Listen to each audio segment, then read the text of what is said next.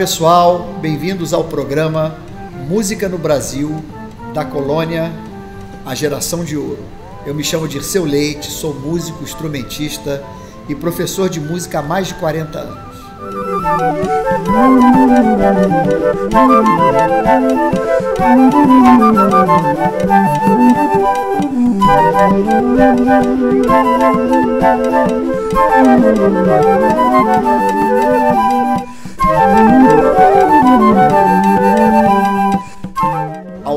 quatro episódios que compõem o nosso programa, faremos um passeio pela história da música brasileira, desde o período colonial até o início da República.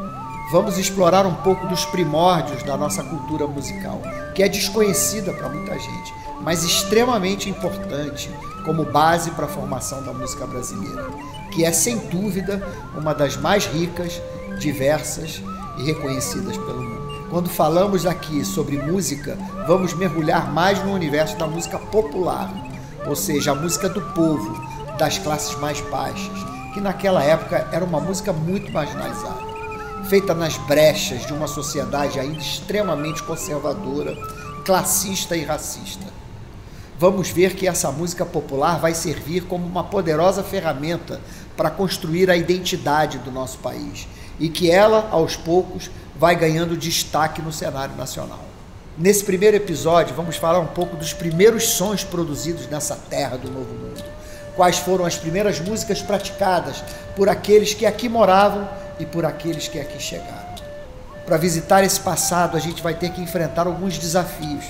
Mas isso porque o olhar da história da música brasileira, lidamos com uma dificuldade enorme de encontrar registros dos primeiros séculos de ocupação. Quando ainda éramos colônia, Portugal exercia um grande controle da produção musical.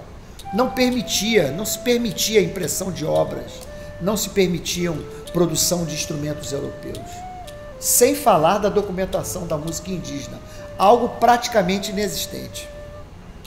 Assim, é importante ter a consciência de que estamos diante de uma perspectiva totalmente eurocentrada sobre a realidade, o que dificulta ainda mais traçarmos um panorama fidedigno e completo das manifestações musicais que aconteceram nesse país de tamanho continental. Mesmo com todas essas dificuldades e através do esforço de muita gente boa, nós músicos, pesquisadores, artistas e, claro, o povo em geral, estamos conseguindo aos pouquinhos trazer à tona uma história pela visão popular. Estamos fazendo descobertas, revisões, interações e buscando dar voz às minorias silenciadas. A vocação do Brasil para a música é tão forte que, até mesmo no encontro entre os portugueses e os indígenas, foi ela que serviu como papel mediadora entre o contato desses dois mundos. Nessa nossa viagem, vamos passar pela carta de descobrimento de Pero Vaz de Caminha. Vamos explorar o cruzamento entre a música indígena e o processo de catequização feito pelos jesuítas. Falaremos da importância das festividades religiosas para a alegria dos homens brancos nas terras desse novo mundo e dos primeiros registros de batuques africanos no Brasil. Como não pode faltar, vamos apreciar um pouco dessas músicas que serão tocadas por mim. Acredito que vai ser uma viagem profunda e interessante e espero que vocês aproveitem. Impossível não começar este episódio com a carta de Pero Vaz de Caminha no 1 de maio de 1500. Esse é o primeiro documento histórico do nosso país. Nela, o escrivão narra o primeiro contato que os portugueses tiveram com os indígenas locais, quando desembarcaram no atual município de Porto Seguro, na Bahia. Os portugueses chegaram no dia 22 de abril, como todo mundo sabe. Dois dias depois, já receberam dois indígenas, dois mancebos de bons corpos em suas caravelas, como dizia Pedro Vaz de Caminha. O capitão até deixou dormir a bordo. O clima era de completa surpresa e descontração. com os portugueses trocando contas de rosário, barrete, carapuças por arcos, flechas e enfeites de plumas. No dia 26 de abril, o padre Frei Henrique fez a primeira missa na terra recém-descoberta. Era um domingo de Pascuela, o primeiro domingo depois da Páscoa, que para a Igreja Católica simboliza o prolongamento das festividades da Páscoa. Então o clima já era de completa euforia por parte dos europeus. Terminada a missa, eles voltaram às caravelas tocando trombetas e gaitas, e depois de comerem, desceram para a ilha e se misturaram com os galantes pintados de preto, vermelho, à beira-mar. Quase uma aglomeração carnavalesca, né? Como descreve Caminha, dá para perceber que tipo de portugueses estavam nesse primeiro encontro com os indígenas, regado à música e à dança. Os primeiros portugueses que chegaram ao Brasil não eram a da burguesia urbana de Lisboa, nem os financiadores das expedições, mas pelos instrumentos que carregavam, as trombetas, as gaitas, a gente nota que tinha uma tradição popular ali coletiva, sabe? Por volta de 1500, Portugal vivia um êxodo rural que enchia a cidade de Lisboa de muita gente desocupada e que topava qualquer oferta de emprego que chegasse, inclusive as mais perigosas. As primeiras tripulações chegavam cheias de homens do campo. Quatro dias depois, em 30 de abril, Caminha descreve novas brincadeiras entre os tripulantes e os naturais da terra. Ali andavam, dançavam e bailavam, sempre como os nossos, ao som de um tamboril nosso, como se fossem mais amigos nossos do que nós seus. Não há dúvida de que os primeiros sons e cantos populares que soaram nessas bandas de cá foram sons do mundo rural português. Mas lógico, né, gente? Antes dos portugueses chegarem por aqui, os indígenas já ocupavam esse lugar e produziam música para os seus rituais como consta na carta de Caminha também, após a primeira missa portuguesa. Levantaram-se muitos deles, os índios, né? Tangeram corno ou buzina e começaram a saltar e dançar um pedaço. Por isso, quando falamos de música no Brasil colonial, vale lembrar que no início não existia um ritmo genuinamente brasileiro. Não existia um Brasil né, ainda. Né? Não existia um povo brasileiro. A música que se praticou por aqui nos primeiros séculos era indígena, europeia e africana.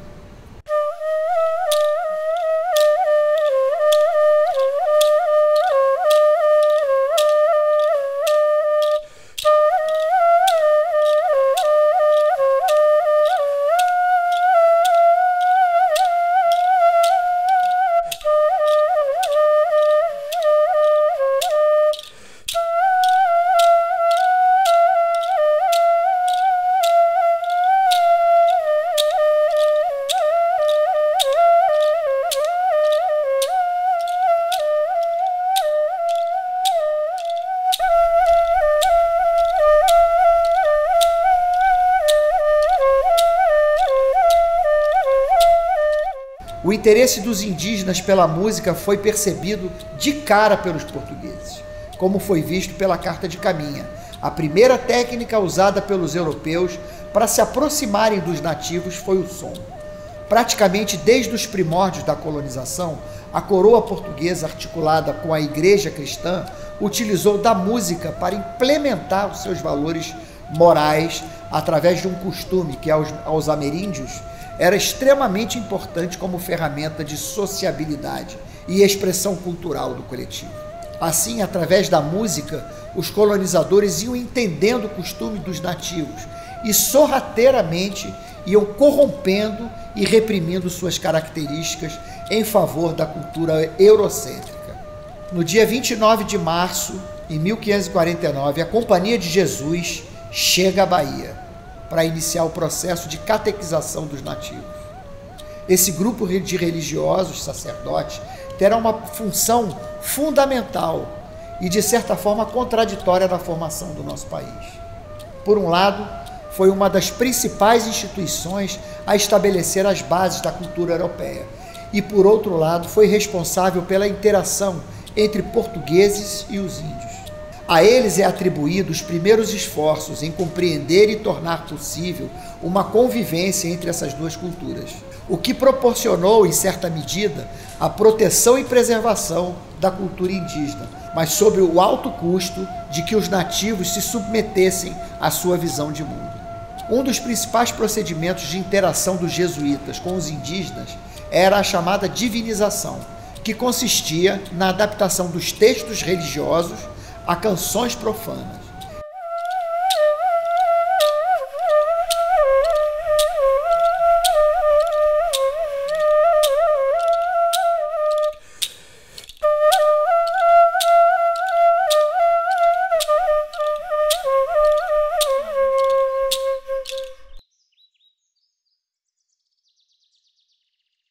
Em pouquíssimo tempo, os jesuítas foram capazes de traduzir para o tupi as principais orações cristãs.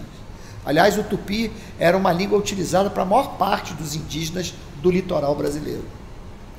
Aos poucos, a música cristã europeia era passada para os indígenas e eles cantavam por curiosidade, sem saberem que estavam se entregando a um projeto colonizador dos homens brancos. Como a tática era documentada pelos jesuítas e por outros viajantes europeus, muitos diários e cartas registraram alguns instrumentos usados pelas tribos na época, como por exemplo nos escritos do padre Manuel da Nóbrega, quando ele fala sobre o maracá, um instrumento musical construído com uma cabaça, na qual os indígenas colocavam algumas pedrinhas e fincavam o cabo para que chacoalhasse. Outros viajantes europeus, como Hans Steyden, citam o aguaí, uma espécie de chocalho fabricado com frutos secos da árvore arrebenta-cavalo, e as membiaparas, que eram enormes trombetas de madeira. Jean de Lery foi outro missionário que escreveu sobre os instrumentos indígenas. Ele cita as cagueiras, flautas feitas dos ossos das coxas e dos braços dos inimigos dos Tupinambá. Ainda que houvesse interesse e curiosidade por parte dos europeus, a visão desses estrangeiros era extremamente discriminadora. Eles consideravam os indígenas e seus rituais aberrações dedicadas ao demônio. Por isso, a música produzida pelos índios foi quase totalmente excluída do conceito música brasileira. Um episódio de importância fundamental na colonização brasileira foi a implementação do governo geral, em 1549, chefiado pelo militar Tomé de Souza. Foi por meio desta campanha que chegaram os primeiros jesuítas que citamos agora há pouco. Aos jesuítas foi designado o projeto de catequização, através da criação de igrejas e colégios próximos às aldeias indígenas.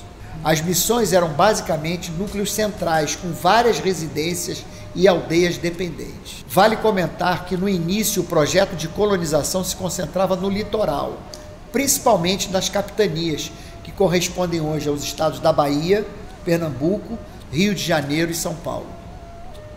A sede do governo geral, por exemplo, foi fundada em Salvador e a política colonizadora se irradiava principalmente deste local até as outras capitanias.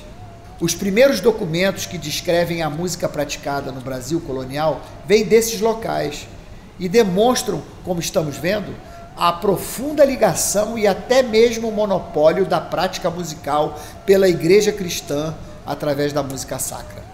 Uma vez que o governo geral se estabelecia na cidade de Salvador, é lá também que foi construída a primeira igreja pela Companhia dos Jesuítas. O local era conhecido como Terreiro de Jesus. Engraçado, né? Terreiro de Jesus. Onde fica a atual Catedral Basílica de Salvador. O terreno escolhido pelo padre Manuel da Nóbrega era vizinho de uma aldeia de indígenas, com quem os padres já tinham estabelecido relações. Era ali que começaria o trabalho de catequização pelos padres liderados pelo Nóbrega e depois pelo segundo grande evangelizador, José de Anchieta, conhecido hoje como o apóstolo do Brasil.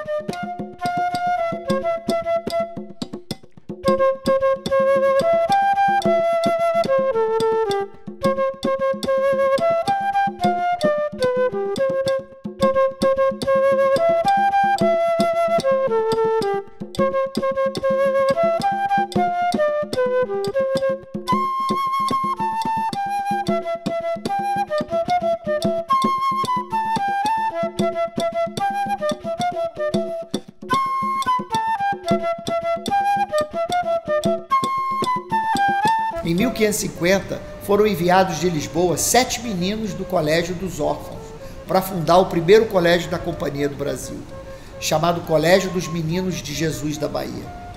Esse colégio ficava dentro do terreno da igreja e no final do século XVI já possuía diversos alunos vindos de Portugal, tendo aulas de ler, escrever e contar, e cursos de humanidade também, filosofia e teologia. Os professores desses colégios criados pelos religiosos eram os mestres de capela, figura de suma importância no desenvolvimento da música sacra por aqui. O mestre de capela era um cargo desempenhado por algum sacerdote da igreja, que era ao mesmo tempo músico e professor. Na maioria dos casos eram compositores, regentes de coro, instrumentistas, até mesmo empresários musicais, a quem competia organizar programações e escolher intérpretes. Esse cargo foi importado de Portugal e no Brasil teve um papel fundamental na difusão da música e na educação das novas gerações. Assim, junto com o trabalho dos mestres de capela, a vinda dos meninos órfãos de Lisboa funcionou também para atrair as crianças indígenas para o ensino dos cantos religiosos. Os meninos europeus praticamente se misturaram à cultura dos nativos, ensinando as músicas sacras em tupi e utilizando os instrumentos indígenas. Há registro do padre Manuel da Nóbrega elogiando muito o papel dos meninos nesse trabalho. Mas essa técnica de aliciamento foi proibida em 1552 pelo padre Simão Rodrigues, superior da Ordem de Lisboa, por medo do tiro sair pela culatra. E estava saindo mesmo, né, gente? Porque os, os meninos se envolviam com a cultura indígena e, a, e ao invés de da coisa rolar do jeito que os europeus, os europeus queriam, faziam exatamente ao contrário, os europeus que estavam se envolvendo com a cultura dos indígenas, que não era esse o projeto. Né?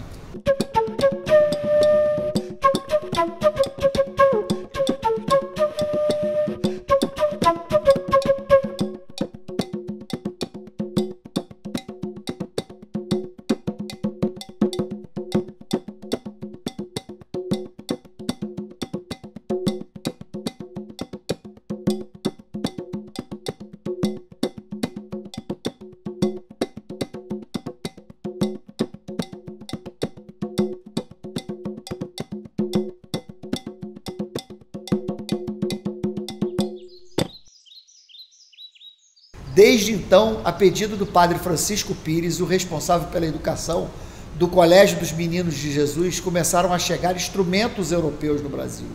Ah, chegando a cavalaria. Dessa forma, seus alunos não precisavam se converter à música dos indígenas, mas, pelo contrário, passariam a convertê-los pelo som europeu. Na prática, o processo de catequização pela música continuou de maneira híbrida o mesmo padre Francisco Pires, em 1556, narrou uma procissão realizada em aldeias no dia do anjo custódio, utilizando instrumentos indígenas.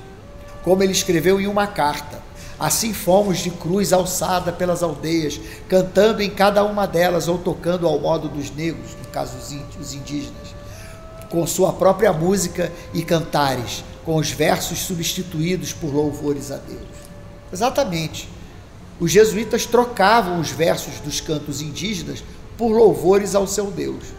Dá para perceber nesse trabalho o início do sincretismo religioso, tão característico do Brasil atual. Durante o século XVI, pode-se dizer que os indígenas participaram ativamente da vida musical religiosa europeia em solo brasileiro.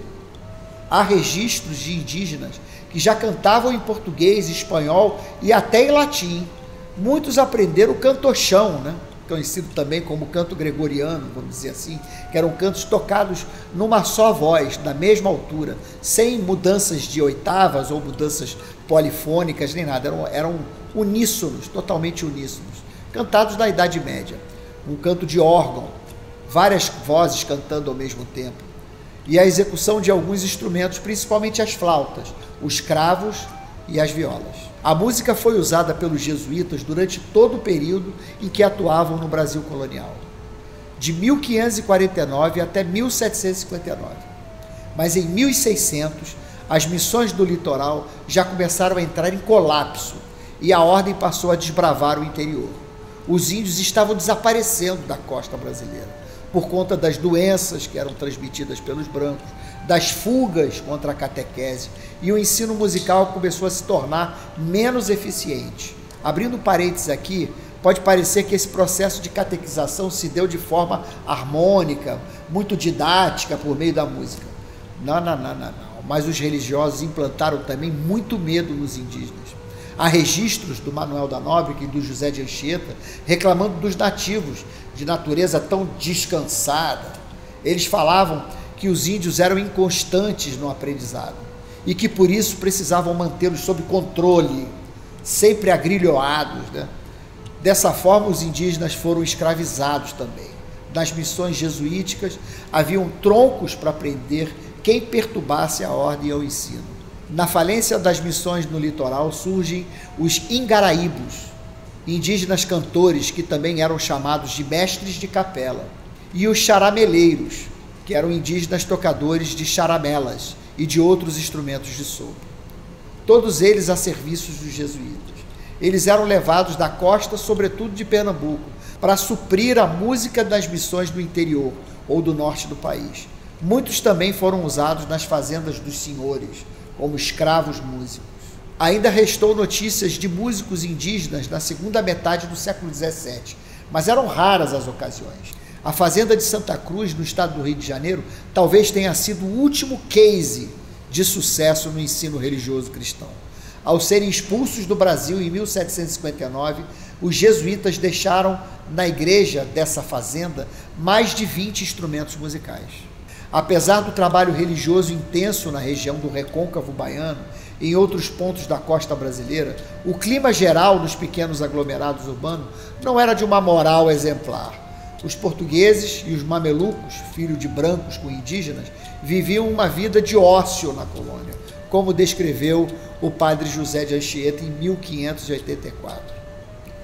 Era terra desleixada, remissa e algo melancólica, e por esta causa os escravos e os indígenas trabalhavam pouco e os portugueses quase nada, e tudo se leva em festas, convívios e cantares.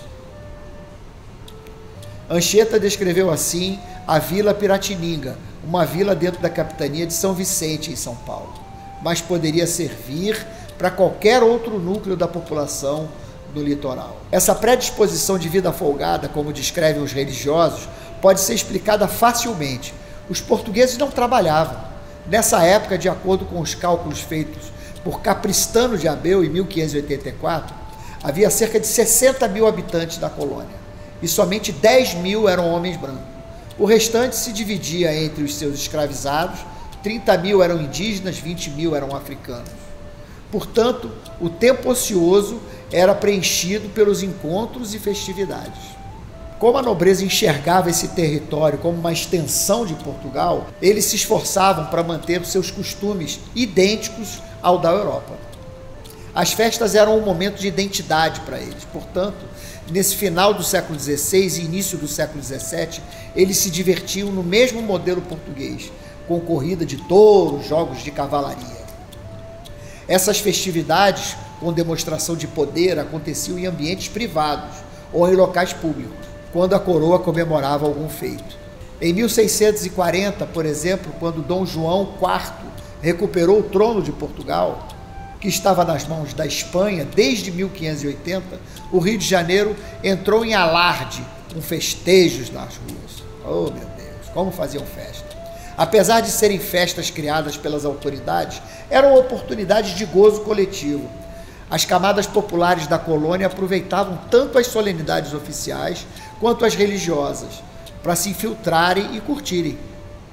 Eram ocasiões em que a massa dos portugueses os mamelucos e os escravizados saíam da margem social e figuravam como personagens ativos da história. Tipo carnaval mesmo, né?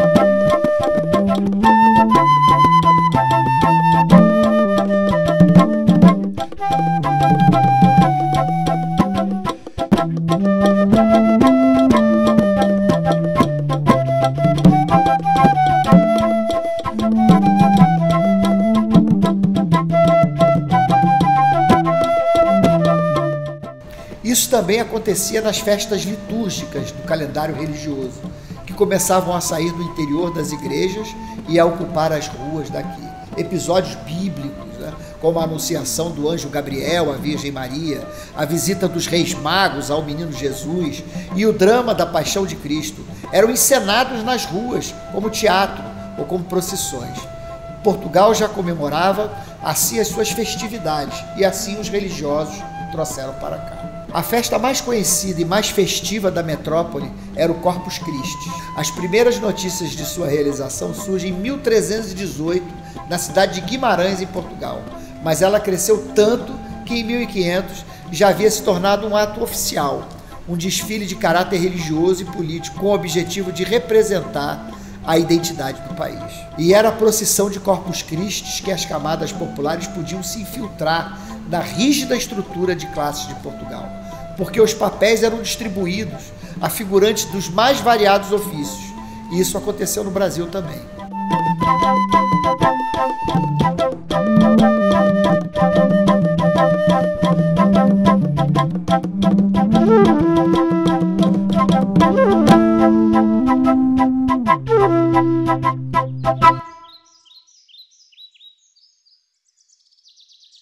Lógico que quando essa festa era transportada para cá, não veio com tanta pompa assim, né? Nem tinha tanto morador para fazer isso. Mas já era uma oportunidade de catarse da população durante o projeto colonizador que faziam no país. Até mesmo os negros cativos eram chamados para participar das procissões de Corpus Christi e de outras que aconteciam no século XVII na Bahia. Primeiro, eles participavam trabalhando mesmo, carregando armações para o desfile, essas coisas. Né? Mas já no final do mesmo século XVII, há registros de comparecerem como membros da procissão. Tem um manuscrito do compromisso da Irmandade de Santo Antônio de Catagerona, de 1699, 19 anos depois de inventarem o clarinete, em que consta que os organizadores da Irmandade estabeleceram que o juiz, o escrivão e o tesouro da procissão de Santo Antônio seriam crioulos, negros nascidos aqui. Como dissemos, na entrada do século XVII havia cerca de 20 mil africanos por aqui, descendentes crioulos e mestiços. Apesar da falta de informação sobre a vida social dessas pessoas, pelos testemunhos da música e dos brancos e dos indígenas, dá para imaginar que os negros também não viviam no silêncio. O primeiro relato que se tem de música praticada pelos negros foi do francês François Pirard, um viajante que viveu por dois meses na Bahia em 1610. Ele conheceu um senhor de engenho poderoso que gostava de ostentar. E uma dessas ostentações era manter uma banda de 20 a 30 escravizados, dirigida por um músico europeu. François não descreveu que tipo de música eles tocavam, mas certamente o repertório remetia aos salões nobres da Europa. Mas isso é um relato de africanos escravizados e obrigados a tocar a música dos brancos. As primeiras fontes a registrarem as informações mais fiéis à realidade dos negros por aqui são dos holandeses.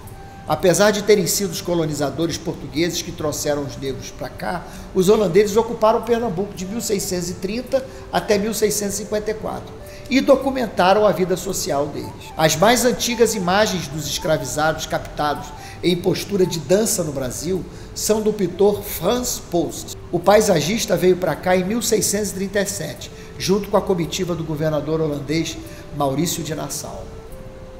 Franz Post ilustrou o livro de Gaspar Barleau, intitulado História dos Feitos Recentemente Praticados durante Oito Anos no Brasil, que é um relato do governo de Nassau em Pernambuco. E na pintura Engenho de Itamaracá, o artista flagra especialmente um dia de vida dos negros escravizados no litoral. Nela, à vista da cidade de Maurícia, de 1657, dá para ver no canto esquerdo, embaixo, uma outra roda de dança dos negros, em que um casal se defronta de braços abertos na iminência de jogar o corpo para a umbigada, uma dança típica africana. A mais importante cena capturada nesse período é de um soldado alemão chamado Zacharia Wagner, que viveu em Pernambuco em 1634 até 1641. De soldado, ele passou a ser escrivão de Nassau. Na tela Negertaz, o autor escreveu na legenda que aos domingos os negros tinham permissão de descansarem. Muitos aproveitavam dançando.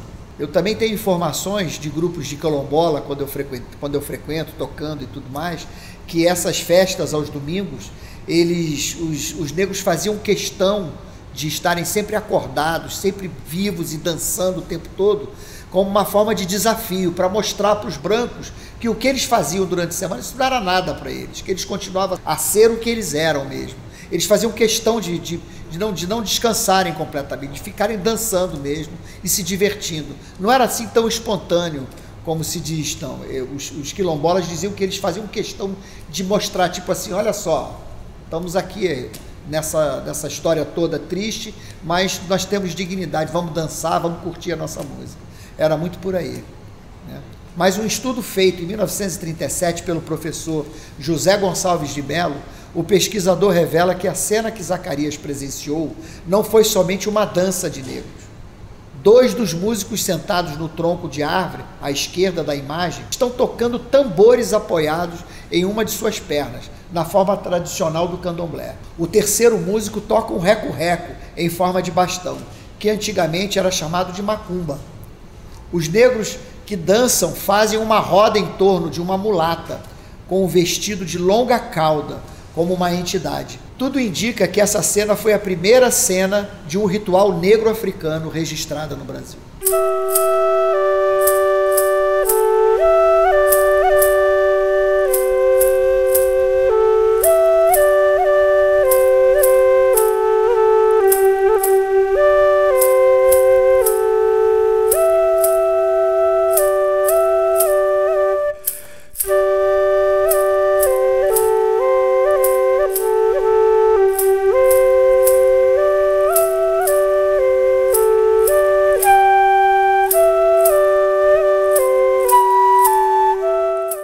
Desenhos de Franz Post e de Zacarias mostram que os escravos africanos conseguiram praticar seus ritmos e danças no início da colonização à base de uma grande percussão, que os portugueses definiam na época como um nome genérico de batuques.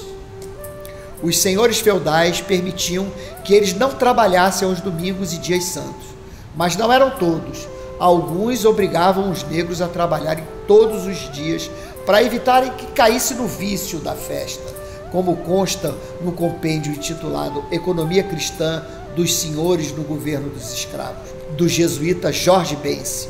Na literatura, quem melhor descreveu o dia a dia da sociedade daqueles tempos foi o poeta e compositor desembargador Gregório de Matos Guerra. Filho de português, nascido na Bahia, ele estudou em Coimbra e voltou ao Brasil em 1683 ficando no recôncavo baiano até 1694. Seus versos em sonetos ou canções eram perfeitas notícias da vida popular da capital da colônia, com histórias satíricas sobre a convivência entre brancos e negros. As referências do poeta satírico aos batuques africanos aparecem em algumas composições de quando voltou para o Brasil. E como esses batuques eram base das cerimônias religiosas que incluíam a invocação de entidades chamada pelos portugueses de calundus, ele acabou dando esse nome aos sons dos negros. No romance chamado Preceito 1, contado em versos por Gregório de Matos, se apresenta como um procurador da Bahia, que chegou para inocentar a cidade cheia de defeitos. Para ele, a culpa é dos próprios moradores que aqui moravam. Que de quilombos que tenham com mestres superlativos, nos quais se ensinam de noite aos calundus e feitiços. Com devoção os frequentam mil sujeitos femininos e também muitos barbados que se prezam de Narciso. Venturas dizem que buscam, não se viu maior delírio. Eu, que os ouço, vejo e calo, por não poder diverti-los. O que sei é que em tais danças Satanás anda metido, e que só tal padre mestre pode ensinar tais delírios. Não há mulher desprezada, galã desfavorecido, que deixe de ir ao quilombo dançar o seu bocadinho. E gastam pelas patacas. Com os mestres do cachimbo, que são todos jubilados em depenar tais patinhos. Esse romance do poeta reada a ida dos brancos dos terreiros dos negros, para se consultar com o seu, procurando o seu futuro e tudo mais. Os quilombos, é, os mestres do cachimbo, que hoje são chamados de babalorixá, invocavam suas entidades, né, os calundus, para saber o destino das mulheres desprezadas, dos galãs desfavorecidos. Ah, nesses rituais, necessariamente o ritmo dos tambores e atabaques, que não procuravam os quilombos por fé, mas justificavam sua presença com a procura de diversão para dançar o seu bocadinho. A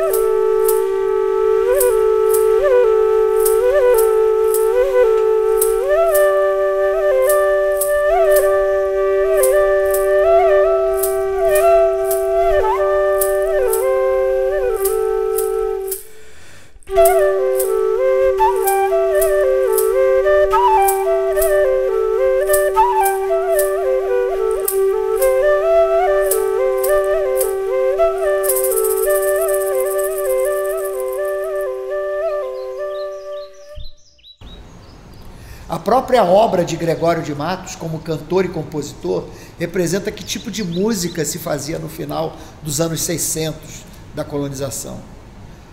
O Gregório tinha o um apelido de Boca do Inferno. Ele contava como vivia em situações e episódios engraçados e sobre o um cotidiano da vida da cidade de Salvador e dos outros centros do Recôncavo.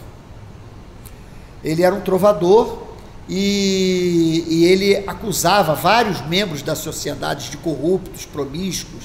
Ele foi perseguido por isso.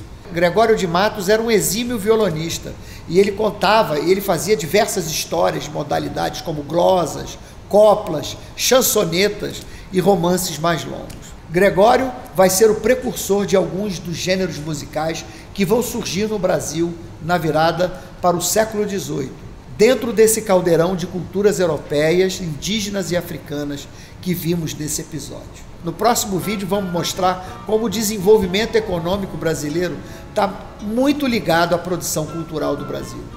O Porto de Salvador, principalmente o Porto Litoral daquele início de colonização, vai ser o formador das primeiras camadas populares, gente ligada ao escoamento de açúcar, ao comércio dos escravizados, e aos trabalhos paralelos que surgiam para atender a demanda do consumo da população.